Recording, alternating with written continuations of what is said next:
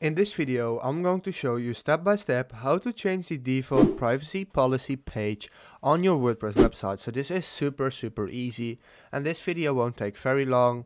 I'm going to show you it straight away. When you're on your WordPress website, you want to go down to settings and then you can see it already right here, privacy. You want to hit it.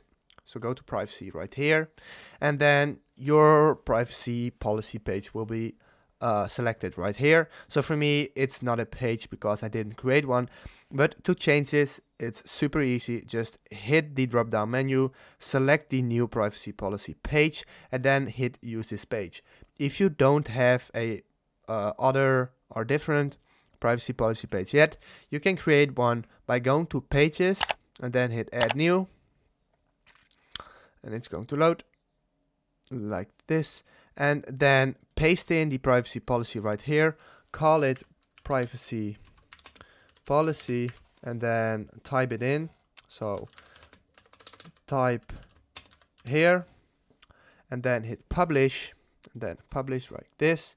So this is basically just everything you want to type but I just hit type in or type type in.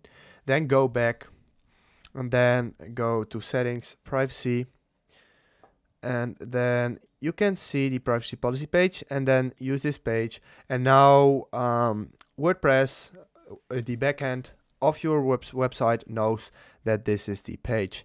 If this video helped you out, please leave a like, please subscribe and see you next time.